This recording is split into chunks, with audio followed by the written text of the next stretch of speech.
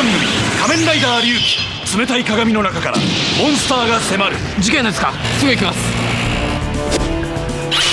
変身！なんだよこれ。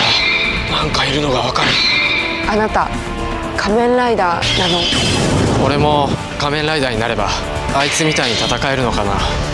戦わなければ生き残れない。2月3日日曜日朝8時スタート。